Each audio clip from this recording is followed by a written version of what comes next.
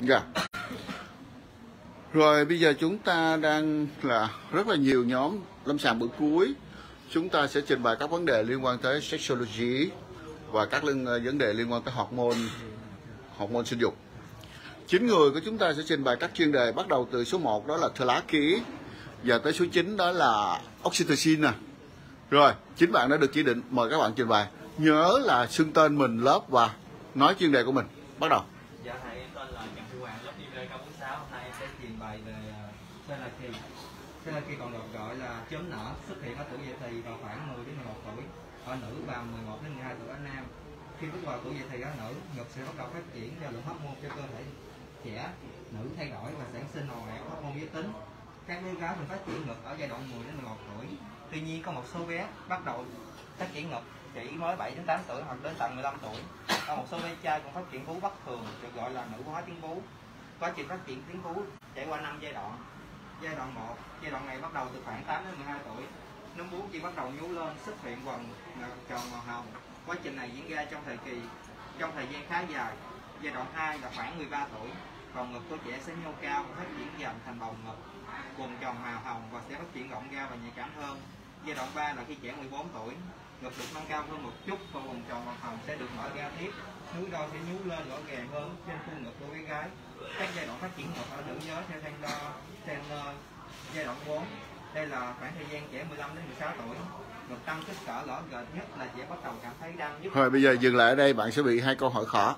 Câu hỏi thứ nhất, những em bé trai mới đẻ ra vú vẫn bự có gọi là thơ lá kia hay không? Dạ. Câu hỏi thứ hai, có những người đàn ông từ hồi nhỏ cho tới 60 tuổi hoàn toàn ngon lành. Dạ, ngực rất là manly. Tự nhiên 60 tuổi đụng cái gynecomastia. Ta hỏi chuyện gì đang xảy ra? Rồi bạn ngồi xuống suy nghĩ và một lát sẽ trả lời sau. Hoặc là về nhà sẽ làm bài tập và gửi lại sau. Quan trọng là nhớ câu hỏi. Vì chúng ta đang live stream cho nên câu hỏi của bạn sẽ dạ, ai cũng sẽ nhớ, khỏi lo là sẽ quên. Rồi mời bạn số 2.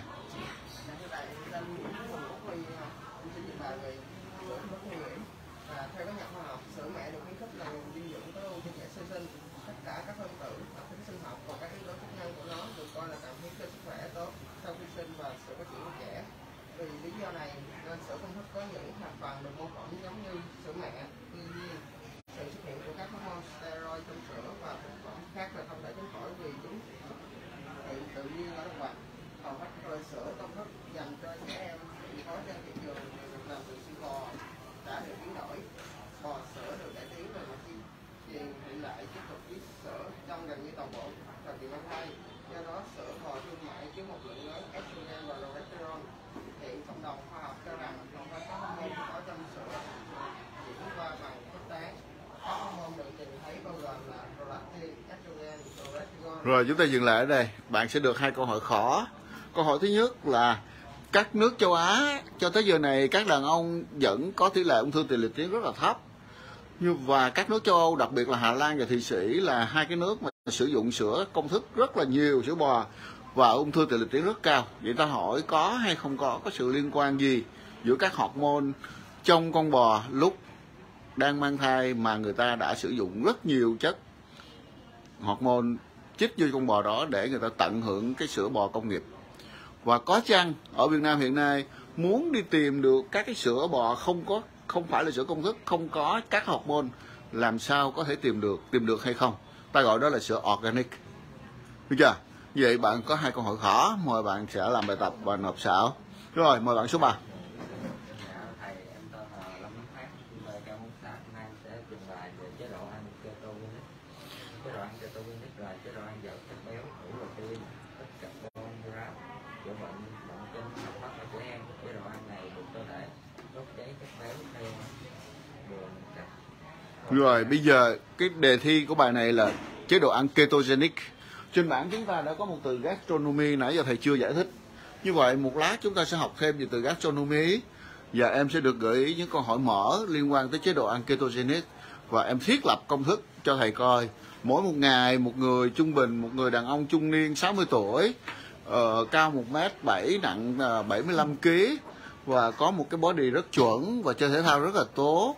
Tuy nhiên người đó có vấn đề về não và đang sử dụng chế độ ăn ketogenic. Có nghĩa người đó hay quên. Người ta nói rằng chế độ ăn ketogenic sẽ giúp người đó ít ít quên. Thôi như vậy em thiết lập chế độ con chế độ ăn cho thầy. Được chưa? Tức là mỗi một ngày sáng người đó ăn cái gì chưa ăn cái gì chiều ăn cái gì? Được chưa? Buổi cuối cùng tối trong ngày là cái gì? Và vì ketogenic cho nên người đó sẽ ăn chủ yếu là, chà, thịt, mỡ, chứ không có không có carbohydrate hoặc rất là thấp. Được chưa?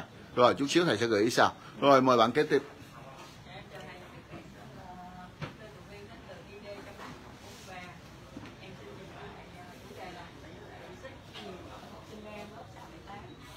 Yeah, chúng ta biết được rằng học sinh lớp 6, 7, 8 hiện nay là lệch sách rất là nhiều và các cái chương trình giáo dục giới tính trong nhà trường không hiệu quả.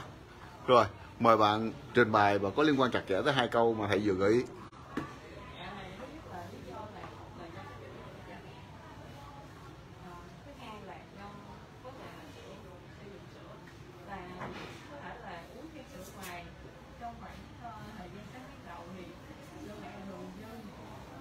vì một lý do gì đó là bị nghe sợ xấu hoặc là sợ giữ eo nên không cho con bú con sợ mẹ và cậu ăn phải bị nghe cái cậu rồi nên bổ sung sữa công thức mà trong sữa công thức thì sẽ có bổ sung nhiều con có thể bao cái thuốc ngừa thai ngừa thai là tăng cân trẻ hồng ngàn dòng bò thì nằm ba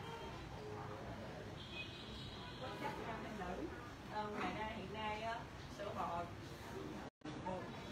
trên cái chất như là rửa trên để tăng sản lượng thì cái con bò sữa thì à, bình thường sẽ sẽ sẽ không được cốt rửa trên thì chị sẽ uống sữa khoảng một nghìn lít trên một năm nhưng mà khi mà bị tiêu cái sữa tiêu vô thì sẽ sữa hai mươi nghìn lít trên năm cái tỷ lệ gia tăng Ok, như vậy à, mời em ngồi xuống.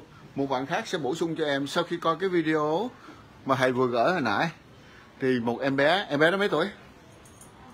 Bảo Vi sẽ trình bày cho mọi người suy nghĩ của mình về cái liên quan tới cái lệch sách. Ta hỏi em bé này có lệch sách hay không?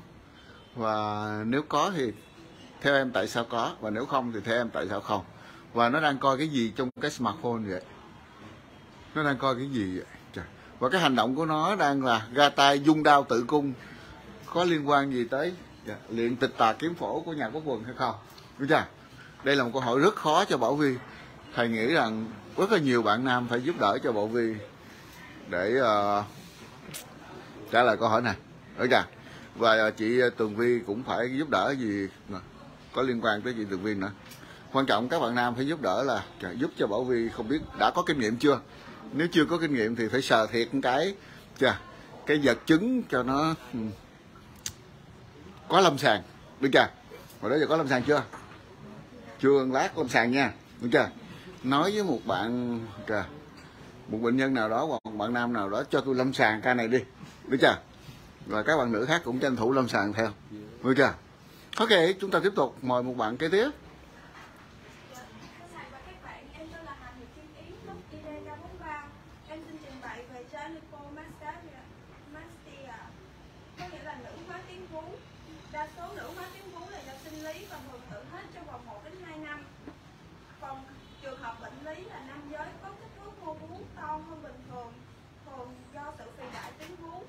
Nếu mà nữ hóa tuyến vú trên một năm thì các mô đệm dày hơn và trở thành cái cấu trúc sơ khó có thể trở lại cấu trúc bình thường. Nguyên nhân thường gặp là do mất cân bằng hormone sinh dục nam và nữ, tỷ lệ estrogen trên testosterone cao hơn bình thường. Gồm hai nhóm là sinh lý và bệnh lý. Nhóm sinh lý do ảnh hưởng hormone từ mẹ khoảng từ 60 đến 90 phần trăm, từ từ sẽ hết. Trẻ vị thành niên trong giai đoạn dậy thì bị vú to tạm thời và tự ổn định trong vòng 6 tháng đến 2 năm. rồi ta dừng lại ở đây. Ta hỏi mấy phần con trai 11, 12, 13 tuổi tự nhiên vú bự lên đau gần chết. Rồi một hai năm sau thì hết. Tại sao? Lý do. Một lát trả lời sau. Mời bạn ngồi xuống. Mời bạn kế tiếp chào thầy và các bạn Giới thiệu em là Nguyễn Trung Quốc có đi học của chị Vũ Lâm hôm nay em xin được trình bày về Enaki và Bubaki để uh, tìm hiểu về chủ đề này thì chúng ta giải quyết câu hỏi là Long Mu và Kinh Nguyệt thì cái nào có trước thì Long Mu sẽ một trước một thời gian mới xuất hiện Kinh Nguyệt thì đầu, Kinh Nguyệt đầu tiên thì để giải thích điều này thì cần tìm hiểu về quá trình dậy thì của người phụ nữ quá trình dậy thì thường đến dòng dấu bằng sự phát triển thì là tính sinh dục phụ sự tăng trưởng nhanh và sự phát triển của cơ quan sinh dục bởi vậy thì được đánh dấu bằng sự tại hoạt động của bây giờ chúng ta sẽ dừng lại ở đây. Ta hỏi người phụ nữ làm mẹ trẻ nhất thế giới là bao nhiêu tuổi? Các bạn tìm liền, google liền cho thầy. Được chưa? Và giải thích. Và giải thích vì sao có chuyện đó. Được chưa? Có thể một chút xíu, bạn Thanh Quốc sẽ trả lời hoặc một bạn nào đó trả lời giúp. Rồi, mời bạn kế tiếp Dạ, em chào thầy và các bạn ạ. Em tên Nguyễn Thị Anh Tùy đến từ lớp B 243. Hôm nay em sẽ trình bày uh, pelvic floor exercise. Khi một người hai ngày không đi tiêu được thì ta phải điều chỉnh lại đại tràng ngay. Nếu không điều chỉnh sẽ dẫn đến rối loạn đi tiểu. Tình trạng này kéo dài lâu ngày sẽ dẫn đến tổn thương sàn chậu. Sau đó sẽ tiểu không kiểm soát. Khi tàn qua sau và âm đạo sẽ gây tiểu không kiểm soát khi gắng sức. Và khi trục trệ sau và âm đạo sẽ khó khăn khi đi tiêu. Nên bệnh lý sàn chậu ở nam hay nữ đều rất cần được hiểu biết, đặc biệt là những bệnh nhân có cơ địa béo phì rất dễ sa sàn chậu. Nên để tránh bị chậu nên tập cho tiêu ạ. Xin thank you. Rồi, mời bạn tiếp tiếp.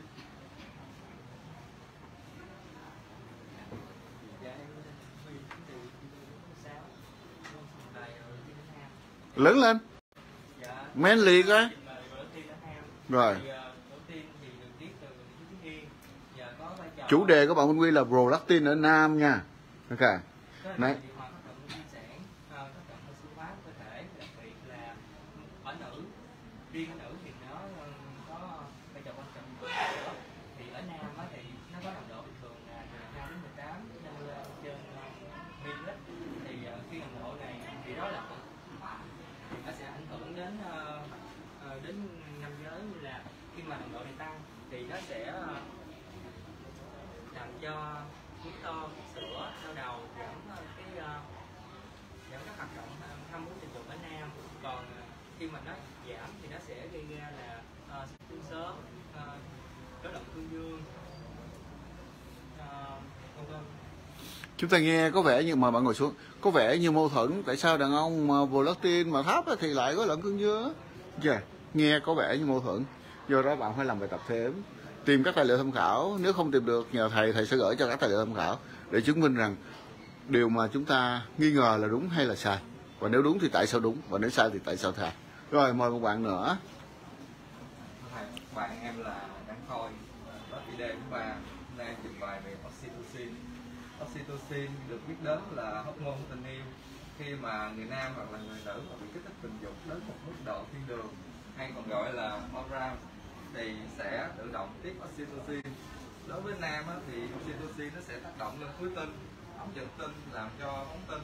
Tuy nhiên nếu vì một cái lý do nào đó mà người đàn ông không có giao hợp, không đủ dâm không phóng tinh thì sẽ rất là tích ở vùng túi tinh ống dẫn tinh tiền nguyệt tiến hay còn gọi là tích giái còn ở phụ nữ khi mà đạt đến cái orgasm mà không được thỏa mãn thì cái nồng độ oxytocin tiết ra nhiều làm cho vú căng đau khó chịu.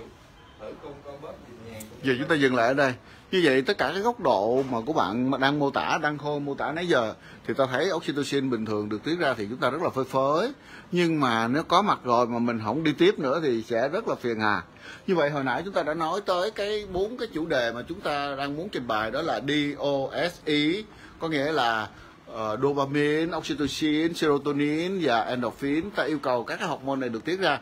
Nếu vậy tiết ra hoài tối ngày vậy đâu có học hành gì được đâu làm ăn gì được đâu kiếm tiền được rồi chết thì sao? Được chưa?